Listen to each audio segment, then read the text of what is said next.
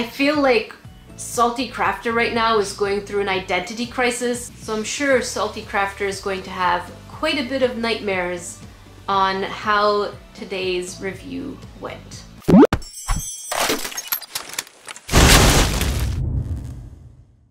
What's up guys? Salty Crafter is back. When I was in bed doing some research on which craft kit I should tackle next, I saw a mission statement on one of the kits. That mission statement said, create wonderful things, be good, have fun. As a salty crafter, I was a little confused. Do I have to be good to make crafts? Is that the purpose of crafting? Am I supposed to feel good? And so I took that as a challenge. This kit must be reviewed. And so today's victim is Mini Bake Shop by Klutz. This week's shout out goes to Carrie Bowden, who drew my stone dragon reading some knowledge, Mega Meerkat, who is a Salty Crafter fan, and Avatoon, who actually redrew my fruit dragon from my dollar store challenge. If you want a shout out in my next Friday video, don't forget to hashtag Nerdification Squad in the comment section below within the first 45 minutes of a video's release or hashtag Nerdecrafter on Instagram. Shoutouts are on Fridays, so you have plenty of opportunity to try yourself out on my other videos during the week. First things first, let's start with what is this kit? This is a clay set. I didn't know, because I didn't read the description, that when they say clay treats, we're actually going for air dry clay. It's supposed to have everything that you need to create these chibi, cute, kawaii creations. That was a mouthful. One of the things that caught my attention immediately when I took this out of the box is that it comes with a full-fledged book right on top. The instructions in the book are actually extremely clear. They are terrifyingly clear. They tell you exactly what length to make each coil, what size to make each little ball, how to smush it, and when you smush it, what size it should be. So this was actually very refreshing to see. The pictures themselves really do explain it, so the kids don't even need to have read the instructions. Will it actually be clear when I make it? That is a different story. So the fact that we're getting a full color illustration book with instructions, that's pretty impressive.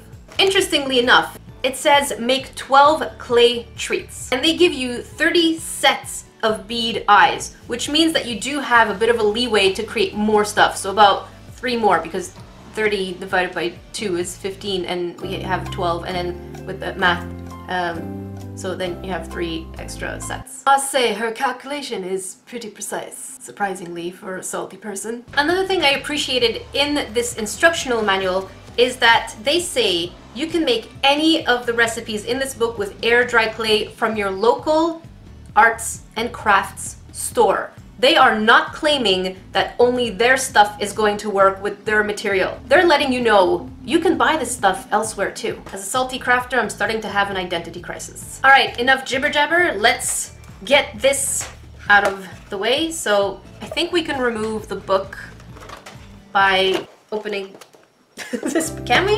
Okay, it doesn't want to come off. Come on! Why is this? Do I have to cut it? Slice that stuff. There we go. So here are the items that we do get on the inside, which are pretty colorful, and we get some styrofoam and stuff. I want to see it in person. I am genuinely surprised that this clay comes in three different sizes. I actually expected it to be all the same size. Maybe I'm just innocent. So we get full size of pink white, medium size of a yellowish and reddish brown, and much tinier versions of yellow, red, kind of an orangey red, purple, and green. I don't know why they're not all the same size. It would, it would make sense for them to be all the same size because now you're really forcing kids to go with the classic colors as opposed to what if I feel like making a green cake? I don't even get blue. Why is there no black? That is very curious because it would be great to have that in case I wanted to make, you know, anime type eyes. Next we get eight cake and pie forms. We only get one little one why is there one tiny one when the whole point is kind of to work small? And then we get three of these absolutely gigantic ones, maybe for dexterity for kids, I guess. Two of the medium, and then two pies. I'm just a little annoyed that we wouldn't get at least two of these ones. You should try and at least have two of each, kind of like the pies, these, and that. And then if someone wants to make a bigger one, that's fine, but try to make it even so that kids, you know, don't get jelly. we get their glaze and some glitter and sprinkles, clay roller, and tool. I'm pretty excited about this one because you can make mouths and texture. We get about a hundred different little cutouts and designs, which I'm pretty excited about, to be honest. So to make the faces, we have these for the eyes, which are half pearls, and then we have tiny little cute cheeks, pearls, wrappers for the cupcake. All of them are the same color, which is okay, I guess. Oh my god. I did not expect this box to be this big. On the box, there's a box. You kind of get this idea that you can put a cake in there, but I really didn't think that this was made for the bigger piece. So you have little glasses, candle, etc. They are double-sided. And of course, for Salty Science, I did count them and they are 99, exactly as was mentioned. I didn't think the hardest part about making this was actually having to choose which creations to make.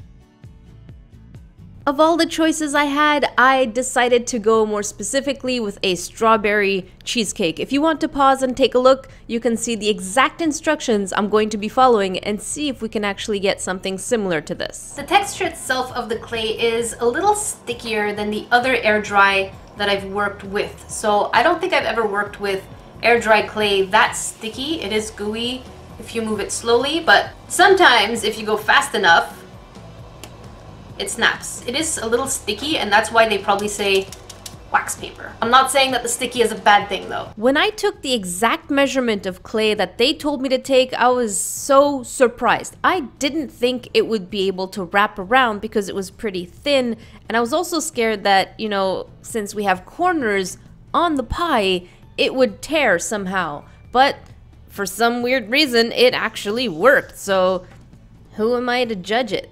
That cutting tool was not too bad either. It wasn't sharp, but it still did the job.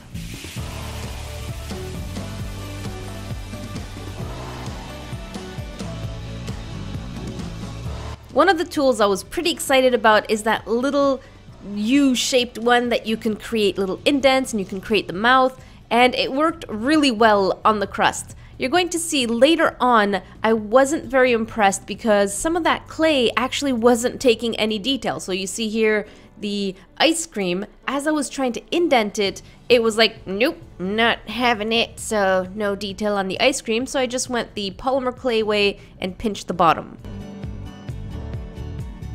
The glaze is not just used as glaze, but it is also used as an adhesive for the clay to each other, which was kind of cool to be honest. It's just you know, the brush didn't touch all the way to the bottom.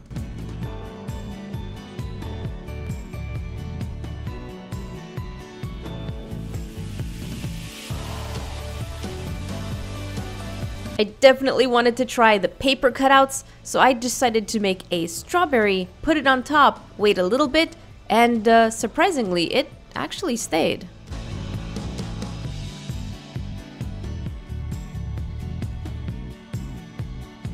As you see, I'm trying to put the mouth indent with the tool, but because I've been working on it and at the end I want to put the mouth, it, it just wasn't having it because the clay has already dried up a bit. So we couldn't put the mouth indent. So I decided to make a frown with some brown clay.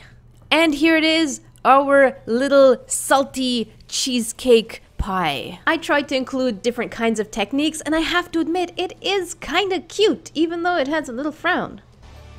Alright, so all in all, let's go through all the cons first because salty crafter of course. And then I'm going to mention the pros of this product. I would have preferred that all colors were equal. Because what because what ends up happening is that you're forced to stick to classic colors instead of use your imagination. If they're going to be giving us smaller sized colors, I don't understand why there isn't black. You can at least be able to make your own frown or your own smile. Even though brown did work okay, I think if you wanted them to match the eyes, black would be a good addition. Since each creation does take a long time, I think it would be great if the bags that the clay comes in would be sealable. That would make it so much more convenient instead of having to run to the kitchen, get like eight different kinds of Ziplocs and then shove them right inside. Nowhere on the immediate package does it say non-toxic, but I'm going to assume that most of the air dry clay is, but don't make the same assumption as me. Just, it would be great if it had it on the package